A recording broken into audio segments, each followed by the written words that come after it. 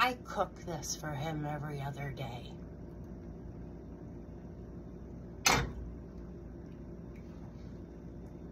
Brown rice.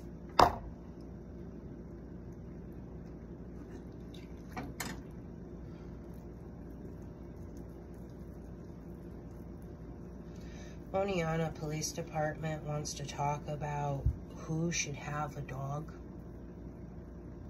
Let me tell all of you, the day I met this dog, he wasn't drinking water.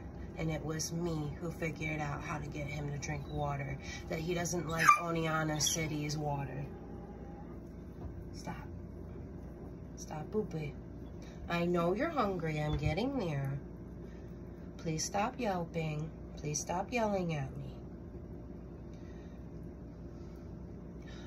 I figured out he wanted bottled or, or filtered water because he hates the tap water here that tastes like hydrogen peroxide, bleach, and chlorine. And you can smell it. It was me who figured out that this dog has a special dietary need for stuff other than kibble. He literally gets sick every time you just feed him pure kibble. But for some reason, Oneonta Police Department officers think they get to say who should be taking care of a dog. When they caused me my panic attack last Friday, this dog saved my life because he loves me, because I love him, because we love each other. I've only known him a little bit over two months. But you guys don't get to judge me. And you should be ashamed of yourself. And I will stand up for this dog each and every time. And I don't care what age anyone is. That child had no excuse. I have learning disabilities I've had my whole life. They're documented.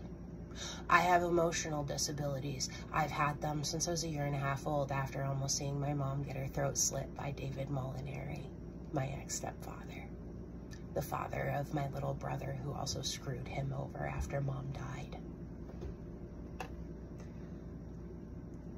Oneonta Police Department officers, if you continue to lack in honor, integrity, and decency, you are going to get yours. It's not a threat.